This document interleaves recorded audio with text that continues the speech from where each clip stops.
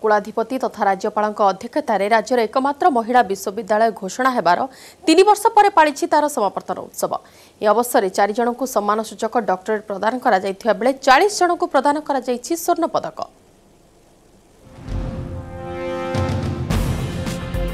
রাজ্যের একমাত্র মহিলা বিশ্ববিদ্যালয়ের প্রথম সমাবর্তন উৎসব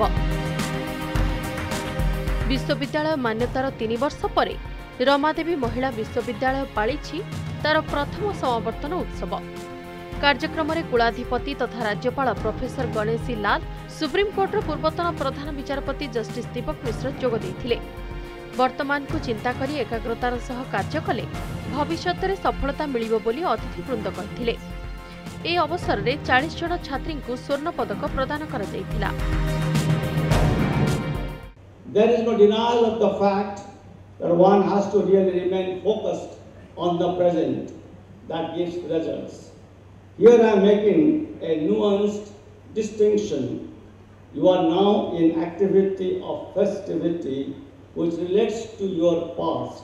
all the teachers to those who are supported me and um Somnath sir who is the project guide for me and I am feeling proud really very proud to achieving this gold medal from this Women's University.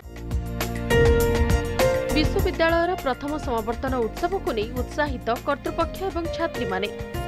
ଆଗାମୀ ଶିକ୍ଷାବର୍ଷରୁ ନୂଆ ବିଲ୍ଡିଂରେ ନୂଆ ପାଠ୍ୟକ୍ରମ ଆରମ୍ଭ ହେବ। କିନ୍ତୁ ବିଶ୍ୱବିଦ୍ୟାଳୟ ଅଗ୍ରଗତିରେ ଭିତ୍ତିଭୂମି ବାଧକ ସାଜିଥିବା କୁଳପତି କହିଛନ୍ତି।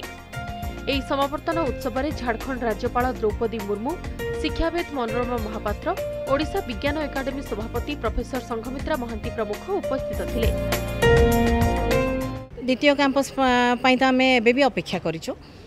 କିନ୍ତୁ ଏହି କ୍ୟାମ୍ପସ୍ରେ ଆମେ ବର୍ତ୍ତମାନ we are expanding we have to expand in this campus ଦ୍ୱିତୀୟ କ୍ୟାମ୍ପସ୍ର ଲ୍ୟାଣ୍ଡ ଆଲଟମେଣ୍ଟ ହେଲେ we will plan for the second campus being a women university Bhubaneswar ଆଉଟସ୍କଟ୍ରେ ଯାଇକି ଇମିଡ଼ିଏଟ୍ ସେଠି ଇମ୍ପ୍ଲିମେଣ୍ଟ କରିବା ନଟ୍ ସିଗ୍ନିଫିକେଣ୍ଟ ଆଇ ଥିଙ୍କ ଆଉ ଯଦି ବି ସେଠି ଦିଆ ହେଇଥିଲା ଫାଇନାଲ୍ ବି ହେଇନଥିଲା ପ୍ରପର୍ ଲ୍ୟାଣ୍ଡ ଆମକୁ ଆଲର୍ଟ କରାଯାଇନଥିଲା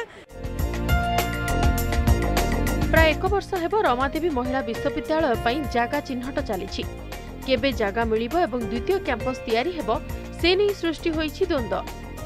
ভুবনেশ্বরু ক্যামেরাম্যান প্রশান্ত মণ্ডলঙ্ সহ নিরুপমা বেহেরা, নিউজ এইটিন ওড়িয়া